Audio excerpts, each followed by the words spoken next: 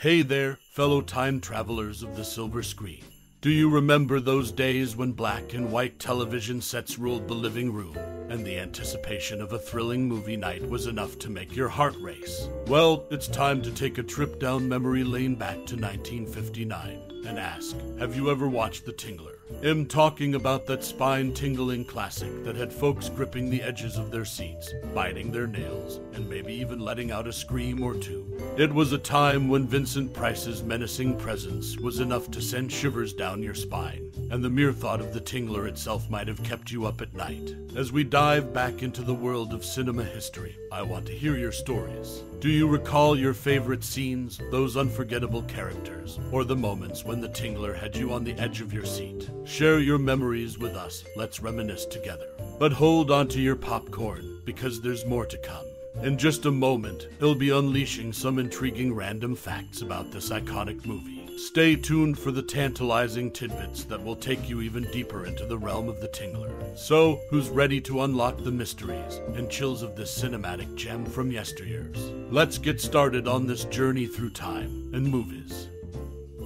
Director William Castle's 1959 movie The Tingler brought thrills to the silver screen in a unique way. However, instead of discussing the provided ideas, let's delve into an interesting and controversial fact about this film. In The Tingler, the audience experienced electrifying shocks through vibrating seats. Castle rigged select theater seats with small electric motors, causing viewers to tingle at pivotal moments in the film. It's estimated that over 20 million backsides received this electrifying treatment during the film's theatrical run, leaving many both thrilled and startled. The film's innovative use of technology and interactive experiences set it apart from conventional cinema of the time.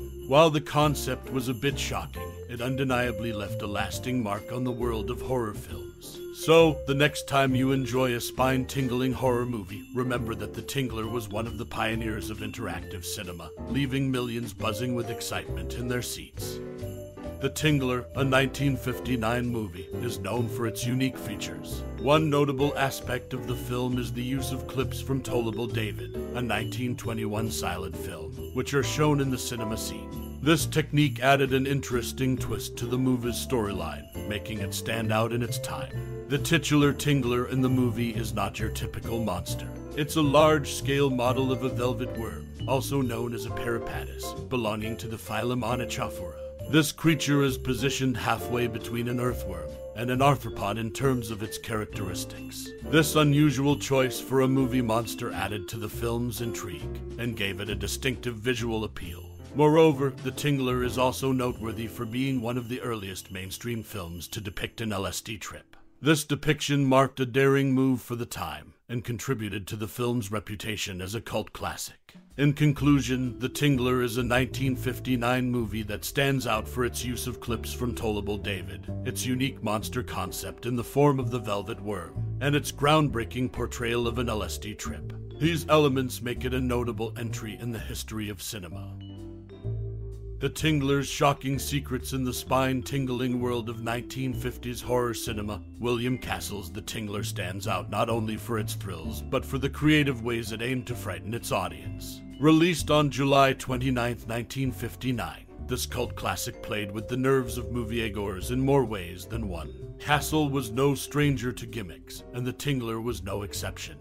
In addition to his famous Percepto, vibrating buzzers hidden in select theater seats to coincide with the appearance of the titular terror, he toyed with other ideas. Rolling bean bags were considered to brush against the legs of viewers, speakers mounted strategically to emit spine chilling screeches, and even the use of shills to operate mechanical devices that would tickle the audience's legs. But Percepto proved to be the only viable way to truly shock and thrill the viewers. While The Tingler scared its way into cinematic history, it also had a hand in bringing two people together. Pamela Lincoln and Darryl Hickman, who portrayed the young suitors in the film, found real love. They tied the knot on November 28, 1959, just a few months after the film's release. The couple eventually had two children, but like many Hollywood love stories, they parted ways on December 8, 1982. And it doesn't stop there. This quirky horror flick even made its way into pop culture infamy. John Wilson, founder of the Golden Raspberry Awards, included The Tingler in his book, The Official Razzie Movie Guide, listing it among the 100 most amusingly bad movies ever made,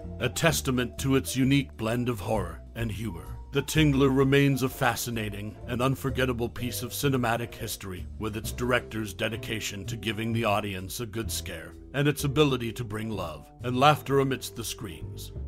The Tingler, a shocking revelation from director William Castle in 1959. Director William Castle electrified audiences with his horror film, The Tingler. However, it wasn't just the on screen thrills that made this movie a sensation. Castle's confession in his biography added a shocking dimension to the film's legacy. Castle revealed that he rigged some theater seats with electric devices to buzz and jolt unsuspecting moviegoers. According to him, he managed to startle at least 20 million behinds during the film's run. This audacious marketing stunt was designed to make viewers feel the same tingling sensations as the characters on the screen. While Castle's electrifying gimmick is now infamous in the history of cinema, it's worth noting that no one was harmed during these shocking movie experiences. The seats provided harmless jolts to create a sense of fear and excitement, leaving the audience both terrified and amused. The Tingler may not have won critical acclaim, but it certainly left a mark in the annals of movie marketing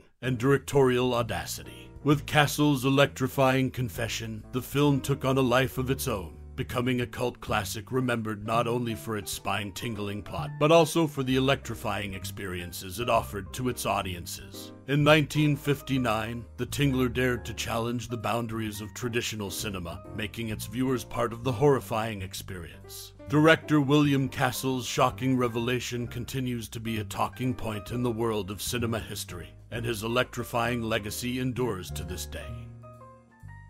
In the 1959 movie The Tingler, Judith Evelyn plays a mute and terrified silent movie theater owner. Five years earlier, she portrayed Miss Lonely Hearts in Alfred Hitchcock's classic Rear Window, where she didn't utter a single word. This intriguing parallel in her roles showcases her versatility as an actress. Additionally, The Tingler earned a place in John Wilson's book, The Official Razzie Movie Guide, where it's listed among the 100 most amusingly bad movies ever made.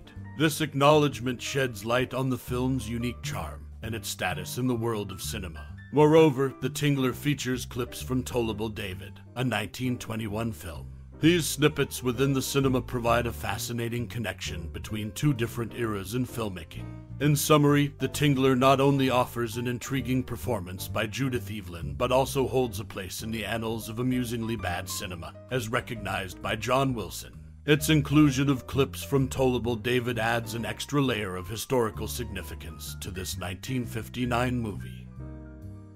As we draw the curtains on our journey through the enigmatic realms of the Tingler, I invite you to take a moment to contemplate the curious tendrils that this 1959 cinematic masterpiece has woven into your own personal tapestry. This peculiar tale of fear, tingling sensations, and the human psyche has undoubtedly left an indelible mark on your cinematic soul. Whether you were captivated by the spine tingling performances of the talented cast, mesmerized by Vincent Price's inimitable charisma, or found yourself pondering the fascinating intersection of science and superstition, the Tingler holds a special place in the labyrinth of your cinematic memories. Perhaps you watched it on a rainy evening, huddled with friends, your laughter and screams resonating in unison.